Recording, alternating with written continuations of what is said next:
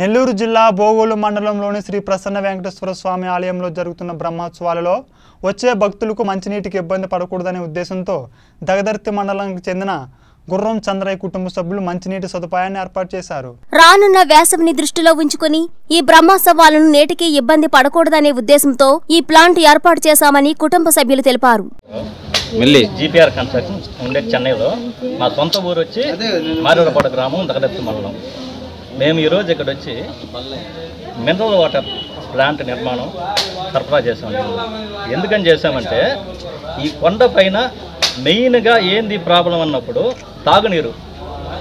తాగునీటి కోసం ఇక్కడ వచ్చి చాలా కష్టపడుతున్నారు. అందుకని నేనేమనుకున్నానంటే ఇక్కడ వచ్చి ఒక పెద్ద ప్లాంట్ ఒకటి పెట్టాలి. పంటకు వచ్చే భక్తులు ఎవరు కూడా నీళ్ళకి కష్టపడకూడదు.